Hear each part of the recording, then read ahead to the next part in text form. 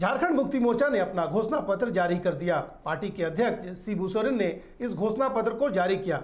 इस मौके पर पार्टी के कार्यकारी अध्यक्ष हेमंत सोरेन और पार्टी के तमाम पदाधिकारी मौजूद थे। झारखंड मुक्ति मोर्चा ने एक बार फिर से राज्य के जल जंगल और ज़मीन की रक्षा को अपनी घोषणा पत्र के माध्यम से संरक्षित करने का वादा किया है। इसके साथ साथ झारखंड के विकास को लेकर कई बातों का ज़िक्र इस घोषणा पत्र में किया गया है। पार्टी के अध्यक्ष शिबू सोरेन ने इस घोषणा पत्र को जारी किया। वही कार्यकारी अध्यक्ष हेमंत सोरेन ने इसकी बारीकियों को मीडिया के सामने रखा। घटे, वो हमारी प्राथमिकता हमारी जो लड़ाई हमेशा से रही है जल जंगल का, उस विषय को भी हम लोगों ने रखा है। किस तरीके से C N T S T कानून के माध्यम से यहाँ पर लोगों को किस तरीके से वन अधिकार कानून के माध्यम से यहाँ के लोगों को किस तरीके से रिज़र्व फॉरेस्ट के नाम पर यहाँ के आदिवासियों को जंगलों को जंगलों से बेदखल करने का षड्यंत्र चल रहा है।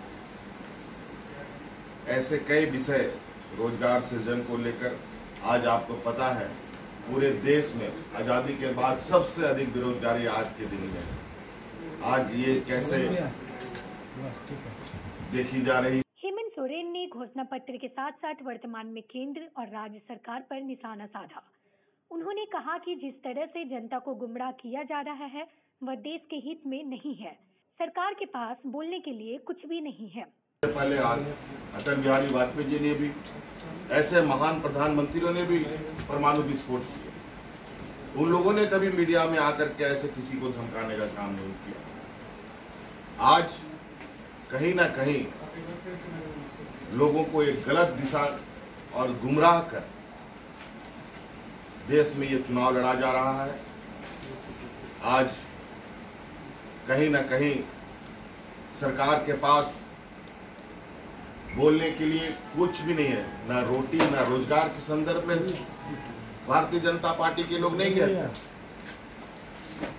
आज राष्ट्रवाद के नाम पर भारतीय जनता पार्टी तो खुद ही राष्ट्रवाद का विरोधी है। राष्ट्रवाद का व्यापारी है। और ये देश के लोगों को राष्ट्रवाद की बात बताते हैं। आज निश्चित रूप से देश एक ऐसे मोड़ पर खड़ा है, जहाँ देश के सवा सौ करोड़ लोगों को ये सोचना पड़ेगा कि क्या इस देश को चंद लोगों की आँखों से देखा जाए कि सवा सौ करोड़ लोगों की आँखों से देखा जाए। में सबसे बड़ी विपक्षी पार्टी ने अपना घोषणा पत्र तो जारी कर दिया, लेकिन इस घोषणा पत्र को लेकर जनता को किस तरह से समझा पाती है, यह चुनाव के बाद ही पता चलेगा। क्योंकि उनकी टक्कर सीधे बीजेपी से है, जो वर्तमान में केंद्र और राज्य दोनों जगहों पर सरकार चला रही है। इसके साथ साथ बीजेपी ने अपनी पूरी ताकत झोंक दी है। तरीके के बखान करने वाले लोग अपनी कमज़ोरी छुपाने के लिए बातों को करते हैं। आज पूरे पाँच साल के अंदर भारतीय जनता पार्टी ने देश के साथ क्या खिलवाड़ किया? आज इनके नीतियों की वजह से देश का कोई भी वर्ग, चाहे वो किसान हो, चाहे मजदूर हो, चाहे नौजवान हो, चाहे आदिवासी हो, चाहे दलित हो, चाहे अल्पसंख्यक हो, चाहे व्यापारी हो सभी लोग तरस। ब्यूरो रिपोर्ट सबरंग समाचार रांची।